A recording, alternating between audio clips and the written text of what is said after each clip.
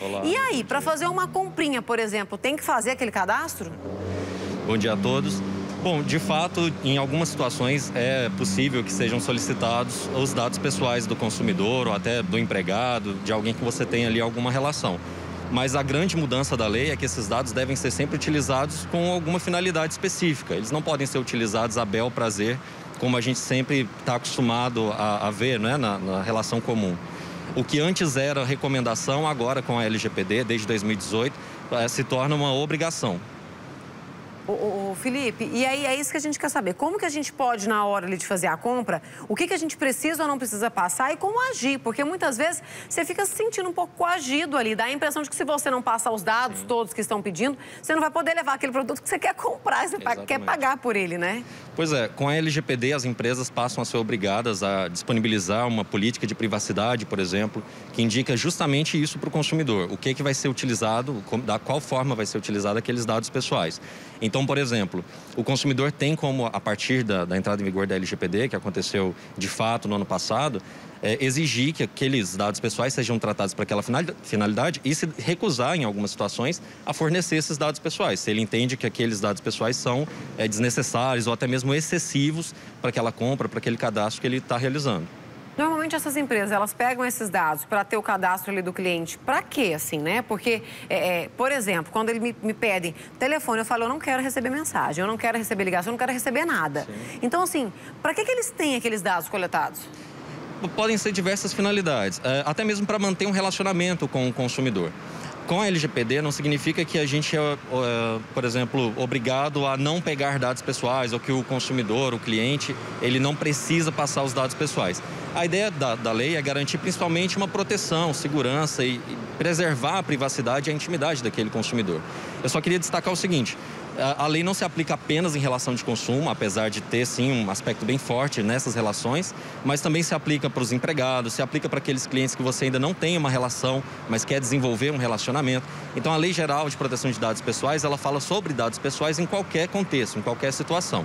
E nessa situação específica do consumo, o consumidor deve sim ser informado sobre a forma como está sendo utilizado aquele dado pessoal ele não precisa necessariamente dar o consentimento, ele não precisa necessariamente é, se manifestar para que esse dado seja tratado. Se está sendo tratado de forma é, simples, de forma a atender aquela finalidade, de forma atendendo à legislação, não há qualquer empecilho nesse tratamento, nessa utilização dos dados. Ô Felipe, não pode haver também essa, essa troca de informação entre, entre as pessoas. Ele, por exemplo, deixa, deixa eu dar um exemplo para você. É, é, eu já recebi ligações uma vez de uma empresa, uma determinada empresa, nem me lembro qual que era, é, atrás de um parente meu. Então, assim, nem, nem era nada para mim, era atrás de um parente. Eu falava, por que vocês estão me ligando? Por que vocês não ligam para a pessoa? Não, porque a gente não consegue falar com a pessoa. E como é que vocês conseguiram o meu telefone? Sabe, assim, é, a gente fica querendo entender isso, se isso pode. Porque se for, por exemplo, uma cobrança, eu não tenho responsabilidade sobre o que aquela pessoa né, tá devendo, enfim. Como que eles conseguem? Porque aí dá a impressão de que há ali um, um, um, um sistema em que eles trocam as informações e por isso conseguem é, pegar o contato de um parente, Exatamente. por exemplo. Está certo? Então, o compartilhamento de dados ele não é proibido, né? Desde que ele atenda aquelas finalidades, desde que você tenha sido informado sobre isso. Mas com a LGPD, o titular, a partir da, da entrada em vigor da lei, pode sim exigir informações que é aquilo que a gente normalmente faz, né? De onde você pegou o meu contato, qual que é a sua relação comigo, por exemplo. A lei te dá armas para correr atrás desse seu direito de proteger a sua própria privacidade e intimidade. O que antes a gente tinha sempre uma dificuldade em fazer com a lei, por exemplo, o fornecedor, aquela pessoa que está entrando em contato com você, ela é obrigada a te fornecer essas informações. É claro que existem algumas exceções, existem algumas condições, mas o, o titular desses dados passa a se empoderar, a se armar para poder entender o que está sendo feito com o próprio dado pessoal. Porque o dado pessoal é nosso, né? Ele diz respeito a, a quem somos. Então nós somos o titular, nós somos o dono dessa informação.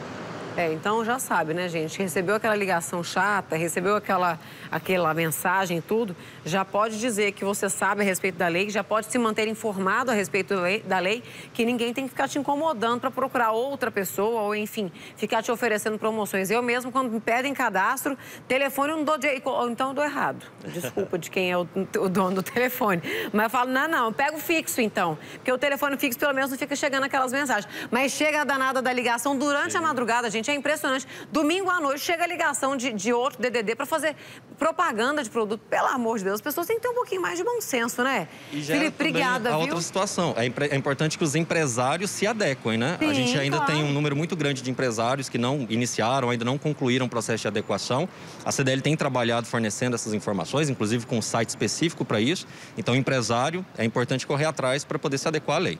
Muito bem lembrado. Obrigada, viu, Felipe, Obrigado. pelas informações aqui ao vivo para a gente.